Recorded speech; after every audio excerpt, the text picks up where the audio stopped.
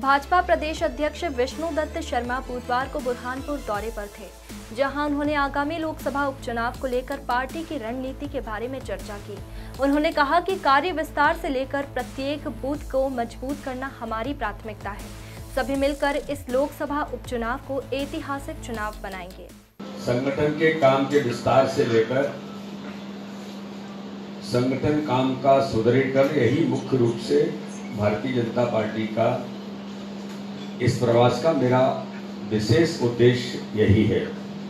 इसके साथ ही हमारे जहाँ पर चुनाव हैं, उन चुनावों की तैयारी की दृष्टि से भी बाई इलेक्शन जब भी होंगे, कोरोना के संकट के कारण से इलेक्शन कमीशन ने चुनावों को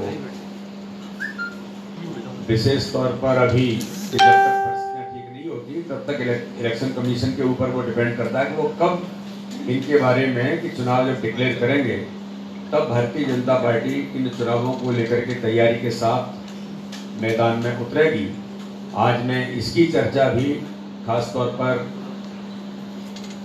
खंडवा लोकसभा जो बाई इलेक्शन होगा तो उसकी तैयारी की दृष्टि से भी आज हम लोग बात करने की, आज इस बैठक का, हमारे इस प्रवास का विशेष तौर पर यह भी मेरा एक उद्देश्य है।